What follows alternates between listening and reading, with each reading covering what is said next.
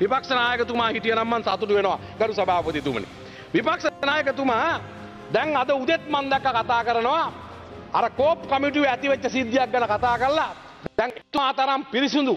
එතුමා තරම් ඉතාම මේ රටේ සියලු දේවල් හරියාකාරවම හිටි කොරපු රාජ්‍ය දේපල කිසි දේකට අවභාවිතයක් නොකරපු විපක්ෂනායකවරයා සුදු ඇඳගෙන නවගුඩ වැල අතේ එන විදිිය බලන්න එපෑ බොහොම මට සිදුටුවට ඇවිල්ල වාඩි ගැන කතා කරත්.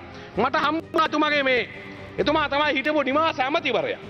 එතුමා නිවාස ඇමතිවරයට ඉන්ද ඇද්දි කරු සාපතුමනි මේ මුදල් අමාත්‍යන්සේ යටතේ වෙනකොට මේ මුදල් කෝමද කල්ල විදන් කල්ලදී. මේ එක ගමක් සිරි සිරි පැන නද ගම එකයි. දෙවනි ගම සොබා නිල්ල ගම. ඊළඟට හදනවා සැනසිලි ගම. ඊට පස්සේ හදනවා ආරාධි නගර සංජීව නගර. ඊළඟට හදනවා ශ්‍රී නිවාසනායමි. මේ වගේ නම් ගානකින් හදනවා එක එක තැන්වල නිවාස ගම් හදනවා.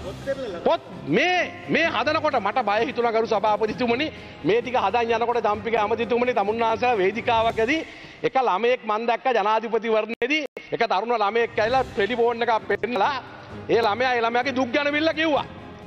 අනේ ළමයාට ඒ වේදිකාවේ ඉස්සරහා හිටපු මිනිස්සු බිම දාගෙන ගැහුවා. වෙලාවට ජනාධිපති උනේ නෑ සජිත් ප්‍රේමදාස මහත්තයා. උනා නම් අනිවාර්යෙන්ම ඒ ගමේ හදයි බිම දාගෙන නෙළුවා. member, please wind up. අනිවාර්යෙන්ම හදයි දාගෙන නෙළුවා ගම කියලා. මේ හදලා තියෙන හැදිල්ල. මේ හදලා තියෙන හැදිල්ලට මෙහෙම මෙහෙම හදපු එකේ අර වගේ එකක් හදන්න බැරි වෙන්නේ නෑනේ. හදනවා අනිවාර්යෙන්. එතකොට මාන්නේ මොකද්ද?